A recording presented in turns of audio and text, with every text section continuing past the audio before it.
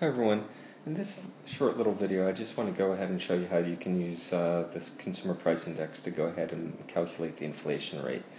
Now remember a lot of people want to interpret the consumer price index as a measure of the cost of living and therefore the inflation rate based upon the consumer price index would be a measure of what's happening to the cost of living over time.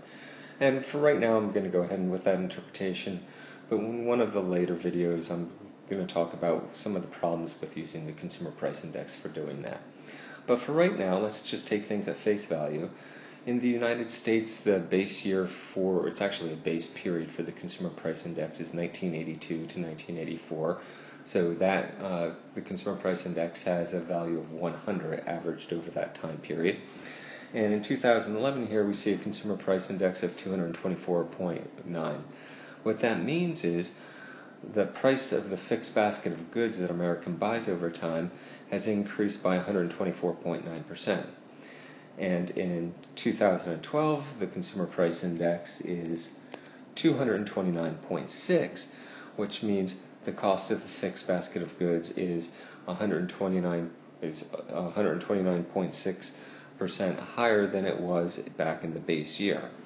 But the question we want to ask here is what's happened to the cost of this fixed basket of goods over between 2011 and 2012.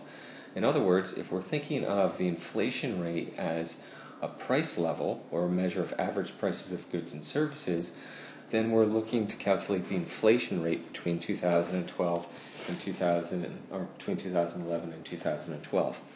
So going back to one of our earlier formulas, we can say that the inflation rate in 2012 is just going to be a measure of the ending price level. And here, since our price level is the CPI, I'm going to go ahead and just write CPI rather than P for price level, divided by the beginning price level, which is CPI in 2011,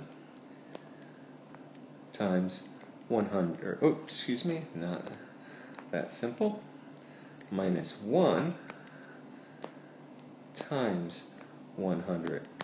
And the reason why we multiply by 100 is really just convention. It's to turn an inflation rate of 1% from 0.01, a decimal, into just 1, a whole number. Or an inflation rate of 10% from 0.1 to 10. Or an inflation rate of 5% from 0.0, a decimal of 0.05 to a whole number of 5. It's just people think in whole numbers much more easily than they do decimals, so oftentimes it's just convenient to multiply by 100. All right. Well, this is just one equation with uh, three unknowns. If you plug in any two of the unknowns, you should be able to solve for the third. Here I'm asking you to do the relatively simple thing of plugging in the values of the CPI and calculating the inflation rate based upon that. Well, in 2012, the consumer price index is 229.6. In 2011, the consumer price index is 224.9. Subtract off 1 multiply by 100, and if you do that, you will get an, inflation rate of 2.1%. Meaning, the consumer price index, or the price of the typical basket of goods that households bought in the United States, increased by 2.1% between 2011 and 2012. Now, as I said, some people are going to say, well, we want to say the cost of living has gone up by 2.1%. Turns out for some technical reasons you can't do that. The inflation rate based upon the consumer price index tends to overstate the uh, increase in the cost of living for a variety of reasons. We'll talk about some of those in the next video. So we'll leave that for the next video. In this one, if you can calculate an inflation rate based upon uh, the consumer price index, you're in great shape.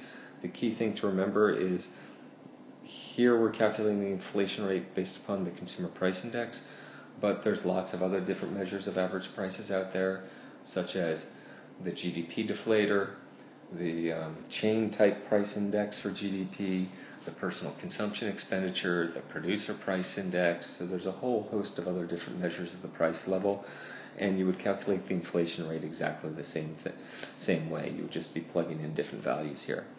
All right. Well, thank you very much, and uh, in the next video we'll talk about limitations to the consumer price index.